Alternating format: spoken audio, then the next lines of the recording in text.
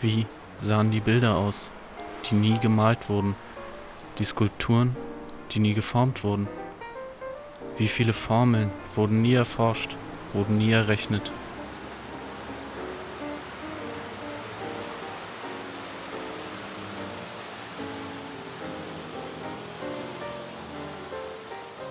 Wie schön sehen die Gebäude aus, die nie geplant und nie gebaut werden konnten.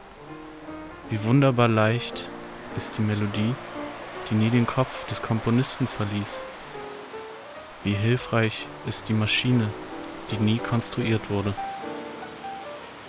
Wie viele Ideen wurden nie umgesetzt? Welche Gedanken wurden nie gedacht? 1933 lebten in Berlin 170.000 Juden. 1945 waren es nur noch 7.000.